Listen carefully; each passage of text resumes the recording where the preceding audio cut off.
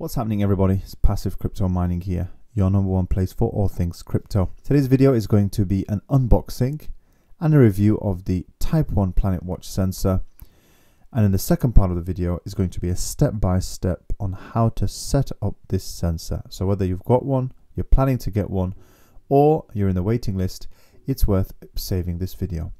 I've got timestamps at the bottom if you want to skip straight to the part when I talk through the step-by-step. step by step and finally, towards the end of the video, I'll let you know exactly how much I earned from being online as a lead sensor for 22 days. Was it worth the investment? Maybe we'll find out at the end of the video.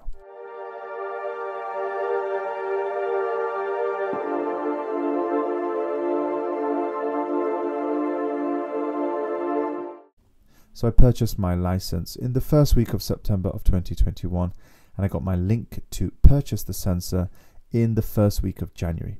It arrived about two or three weeks later after paying the import duty. It comes in a durable box, I'll say, but you need to keep hold of this box and I'll explain why later. The item itself is quite light, although it is durable. It's waterproof. It comes with a decent 10 meter cable. It has the mount, of course the power block, and it also comes with a clamp and a small instruction manual. The cable itself is quite thin and flappy uh, and it connects to an internal a two pin port. You need to make sure that you line up the plus and the negative pins on this port, but actually that's already written inside the cable.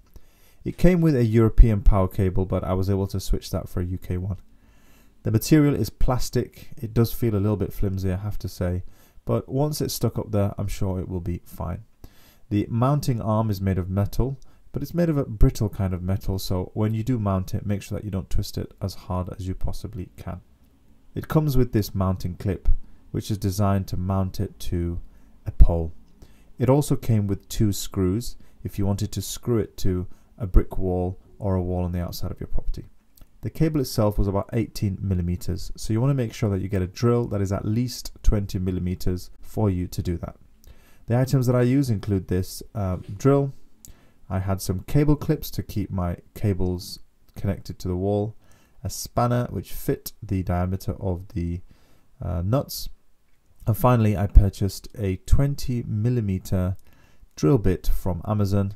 This one, it was a pretty easy business to do actually, it wasn't hard. One of the issues that I did have actually was that the cable itself is very thin and very flimsy. And so when you drill your hole, there is a chance that the cable can fall behind a cavity if you have a cavity wall. So just bear that in mind when you're feeding the cable through your wall. The actual end of the cable is hard, but the cable itself is thin and flimsy. Think of it as a wet piece of spaghetti. Very important, do not plug in your device until you have set it up on the back end. Now you can either mount the device physically first, then onboard the sensor with PlanetWatch, or you can do the onboarding first and then mount the sensor. It depends on your convenience, on your time, if you have access to a ladder. So let's move on to the actual next part of the video, which is the onboarding. I've got here on the screen, if you want to take a screenshot of it, the different steps that you need to onboard this device. Now the first step is to go on the Algo app. It's actually called Pera Algo now. And once you've opened the app and you've already signed in, click on create a new wallet. You're going to want to create a new wallet for this sensor. Again, you can use one of your old wallets if you want, but I always prefer keeping the separate tights in a separate wallet. Once you've created your wallet, keep a note of the passphrase. This is your password. If you lose it, you lose access to this wallet. It's important that number one, you have some algo in your wallet. You need a minimum amount of 0.3 algo, and then you can add an asset, which is the planet's asset. Once you've done that, you should have a wallet which has some algo in it and also the planet's asset initialized. Next step you need to do is you need to go on support.planetwatch.io and you need to submit a request. The request name is Airqino Activation and there is some simple information that they ask from you and the reason you made your wallet is because they ask for your wallet address. Put the email address in, the same one that you use when you sign up. The Airqino device ID is written on the bottom of your device. So it's very important that you take a picture of that before you stick up your sensor onto wherever you're sticking it up. Put your owner wallet address in. You don't need to put anything for the infrastructure email. And then finally, there will be a box for a description or a subject. You can just put Airqino activation and click submit after you've entered your country. Now you need to wait a short while for Planet Watch to email you back. The email should look something like this where they give you an number for you to initialize your asset in the wallet and there'll be a reminder to install the Planet Watch asset. The way that you initialize the asset that they've given you is exactly the same as you initialize the Planet Watch asset. Find your Planet Watch Type 1 wallet, then go on add asset and the number they gave you, you need to import and initialize that figure as an asset.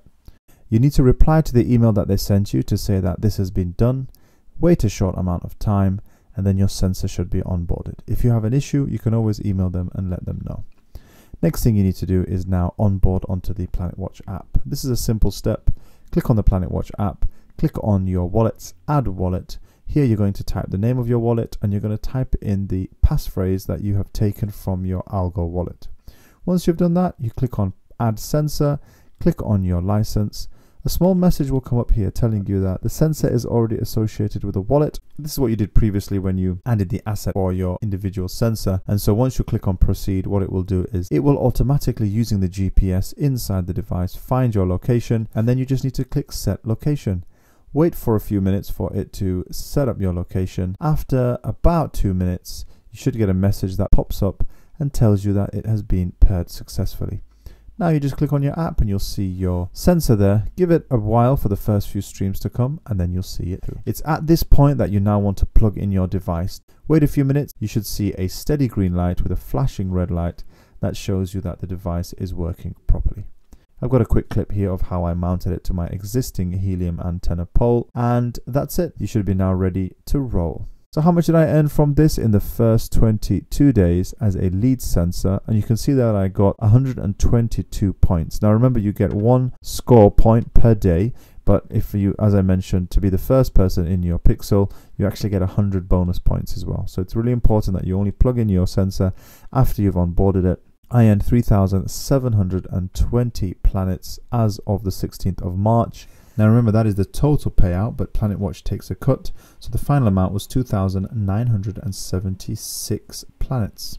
If we look at that amount in today's price of 12 pence, we can see that it comes to 359 pounds at today's price. Now the all-time high for this token was 28 pence, and if we work that out, it roughly works around as £833 if the price was at all-time highs. We can see that it works out at the USD price of 15 cents, $471, and with an all-time high of 47 cents, we can see that the price, if the amount remained at the all-time high, would have been $1,398 for just 22 days of earning. That's if it stayed at the all-time high. Even at today's low rate, it would only take a few months for me to ROI, but I'm expecting the price of planets to go up much higher. So is it worth buying? Well, I can never give you financial advice, but myself personally, I'll be holding on to these planets and I'm very happy for this investment. I've actually just purchased two more as I'm part of the quarter one batch of 2022 and I'll be giving an update on those as they arrive and as they get deployed. That's it for this video. I hope you enjoyed it. Do save this video if you are hoping to get hold of a Planet Watch sensor. I am going to be doing a new unbox of a project that I did feature on this channel next. So if you're interested in that, make sure that you tune in. That's it from me. Thank you very much.